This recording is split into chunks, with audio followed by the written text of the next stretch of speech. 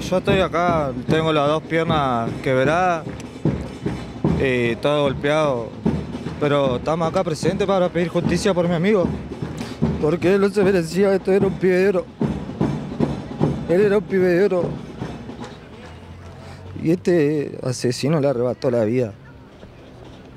Nosotros íbamos a cruzar la calle para buscar mi auto y, y ya irnos. Y no, no, no sabemos más nada.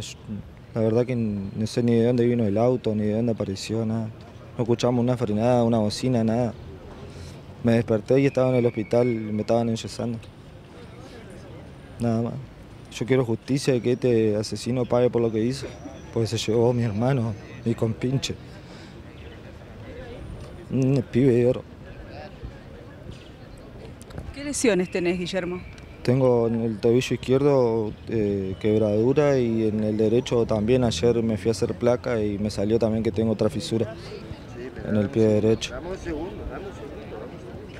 Después de golpes por todos lados, todo hematoma por todo el costado derecho, la espalda, los glúteos, todo.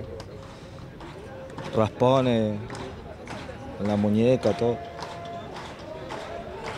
¿Qué recordás de esos minutos previos? Nada, lo único que recuerdo, nosotros estábamos por cruzar la calle, bajar el cordón y cruzar la calle y de ahí no me... Estaban parados ustedes por cruzar la calle.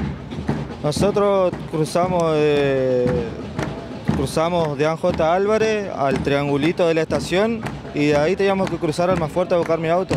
Cuando bajamos del triangulito ya no me acuerdo más nada. No me acuerdo más nada. Me desperté en el hospital y me estaban enyesando, lo único que recuerdo. ¿No lo vieron al auto? No, nunca vimos un auto, nunca vimos una frenada, nunca escuchamos una frenada, nunca una bocina, nada, ni el ruido, nada, nada. Fue de un flash, no sé.